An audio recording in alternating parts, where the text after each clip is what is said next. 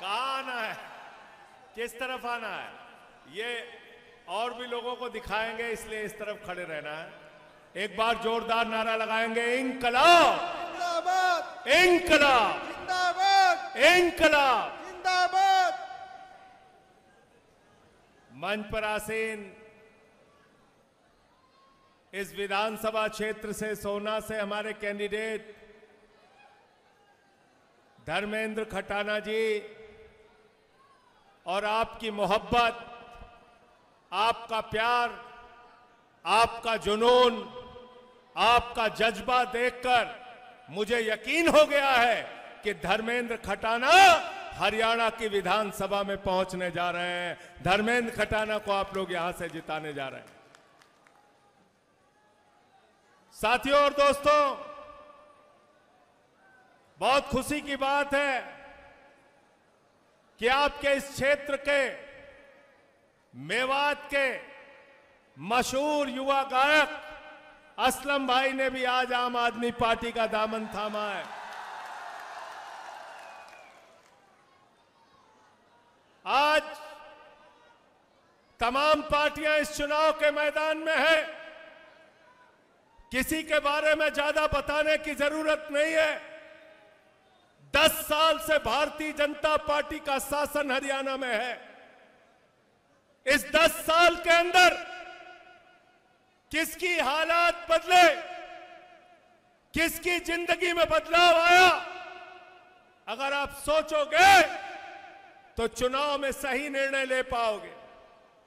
इस दस साल के अंदर अगर भारतीय जनता पार्टी के झूठ को याद करोगे प्रधानमंत्री और बीजेपी के झूठ को याद करोगे तो याद कर लेना, देश के प्रधानमंत्री नरेंद्र मोदी जो कहते हैं, हम डबल इंजन की सरकार चला रहे हैं, डबल इंजन की सरकार चला रहे हैं। मोदी जी ने 2014 में आपसे वादा किया था, हमको जिता दो दो करोड़ नौकरी हर साल देंगे। नौकरी दो करोड़ मिल गई क्या? ज़ोर से बोलिए, मिल गई क्या? नौकरी मिल गई। नौकरी के नाम पे आपसे झूठ बोला। मोदी जी ने कहा, बीजेपी को जिता दो, महँगाई कम कर देंगे। पेट्रोल 110 रुपए का बिका, डीजल 100 रुपए का बिका, सिलेंडर 1200 का बिका, सरसों का तेल 250 रुपए लीटर बिका, प्याज 200 रुपए किलो बिकी, दाल 300 रुपए किलो बिकी महँगाई आसमान पे पहुँचाने का काम किया भारतीय जनता पार्टी ने। दूसरा झूठ आपसे बोला और तीसरा आपसे क्या वादा किया था? क्या वादा किया था? बीजेपी वालों ने कहा था, हमको जिता दो, इतना काला धन लाएँगे, इतना काला धन लाएँगे, ट्रैक्टर पे लाद के लाएँगे, हवाई जहाज़ पे लाद के लाएँगे बैलगाड़ी पे लाद के लाएँगे, इतना काला धन लाएँगे कि हर आदमी के खाते में कितना जमा हो जाएगा। ज़ोर से बोलिए, ज़ोर से बोलिए, पंद्रह लाख। पंद्रह पैसे आए आपके खाते में? आए क्या? आ गए क्या? वो पीछे वाले कह रहे, हमारा आ गया। आ गया? नहीं आया। नहीं आया। तो किसान को कहा, आपके फ़सल का दाम दो गुना करेंगे। किसान बोले, हमारे फ़सल का दाम दो गुना कर दो, चार लाठी। फिर बोले, तीन काला कानून लाए हो, इसको वापस कर दो, दस लाठी। आँसू गैस के गोले, सड़क पे कीले गाड़ दी गई किसानों के। किसानों ने साढ़े सात सौ किसानों ने आत्महत्या करने का काम किया, किसानों को धोखा देने का काम किया। पहलवानों ने कहा, हमको हमारा हक दे दो। पहलवानों को दिल्ली की सड़कों पे घसीट घसीट के पीटा गया। तो इसलिए मैं आपसे कहने आया हूँ, ये भारतीय जनता पार्टी है। भारतीय जनता पार्टी ने किसानों को धोखा दिया। नौजवानों को धोखा दिया। महँगाई के नाम पर इस देश की माताओं बहनों को हरियाणा के लोगों को धोखा दिया। तो भारतीय जनता पार्टी धोखेबाज पार्टी है। ये भारतीय जनता पार्टी नहीं है, ये भारतीय झूठा पार्टी है, झूठा पार्टी। झूठ बोलने वालों की पार्टी। झूठ बोलने का काम करते हैं। एक भी वादा आपसे पूरा नहीं किया और क्या योजना लेके आए? अग्निवीर योजना। अग्निवीर योजना क्या है? भारत की सेना को ठेके पे रखने का काम भारतीय जनता पार्टी की सरकार ने किया। भारत की सेना हमारे लिए गौरव का विषय है। भारत की सेना हमारे लिए गर्व का विषय है। हरियाणा का नौजवान दिन में सुबह से चार बजे उठ के परिश्रम करता है, दौड़ता है, मेहनत करता है अपने शरीर को तैयार करता है, सीमा पर लड़ाई लड़ता है और कहता है, अगर भारत के लिए ज़रूरत पड़ी तो मैं अपने प्राणों की आहूति देकर भारत माता की रक्षा करूँगा। भारत की सेना को नरेंद्र मोदी की सरकार ने ठेके पे रखने का काम किया। भारतीय जनता पार्टी ने सेना के साथ भी गद्दारी करने का काम किया। अगर आम आदमी पार्टी सत्ता में आती है तो हम ये अग्निवीर योजना कूड़ेदान में डालने का काम करेंगे। अग्निवीर योजना को खत्म करने का काम करेंगे। अभी मैं बात कर रहा था।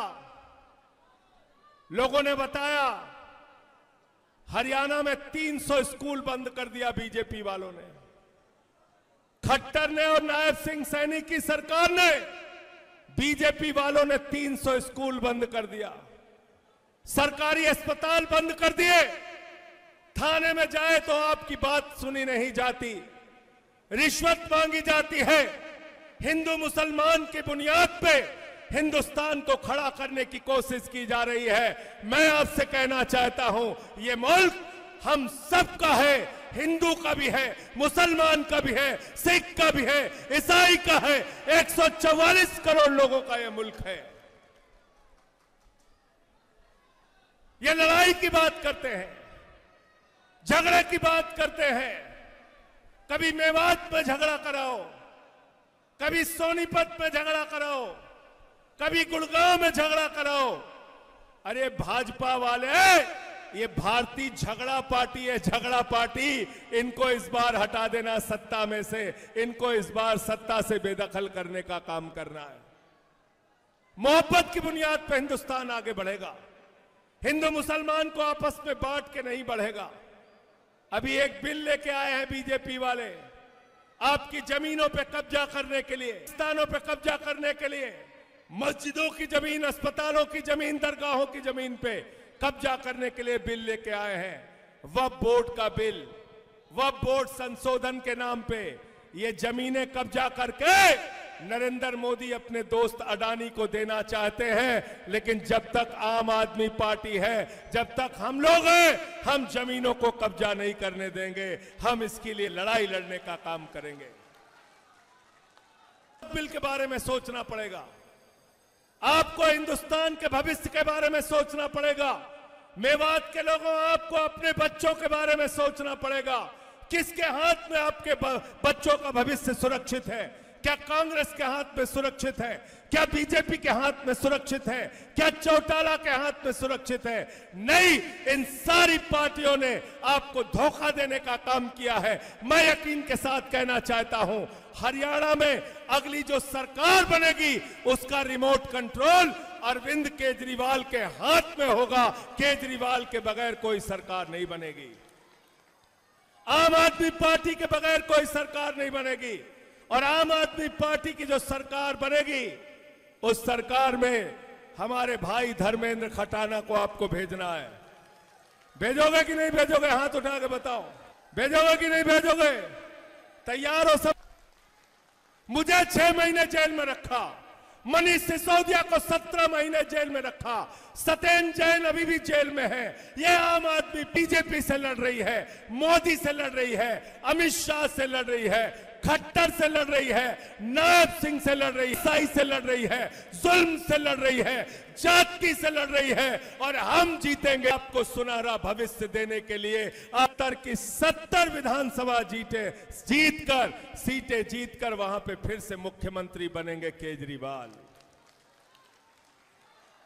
और हरियाणा के अंदर जो सरकार बनेगी, उसका रिमोट कंट्रोल केजरीवाल के हाथ में होगा। और केजरीवाल के हाथ में अगर रिमोट कंट्रोल होगा तो पहला काम होगा हरियाणा के अंदर बेहतरीन स्कूल आपके बच्चों के लिए बनवाया जाएगा और शिक्षा पूरी तरीके से फ्री होगी, हरियाणा में फ्री होगी।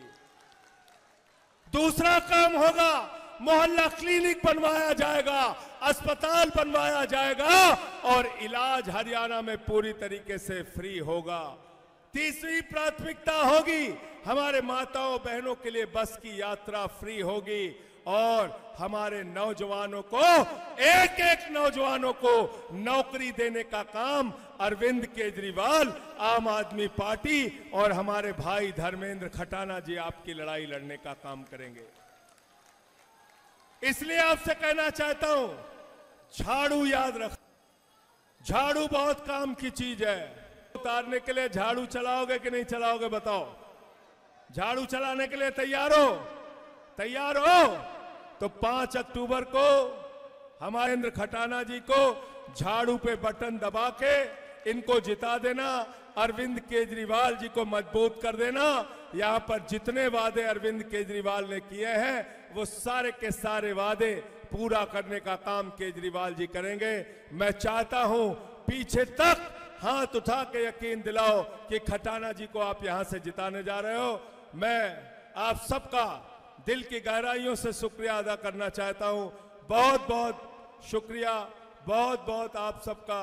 बहुत बहुत शुभकामनाएँ आपको बहुत बहुत बधाई। इनकलाब! इनकलाब! जिंदाबाद! इनकलाब! जिंदाबाद!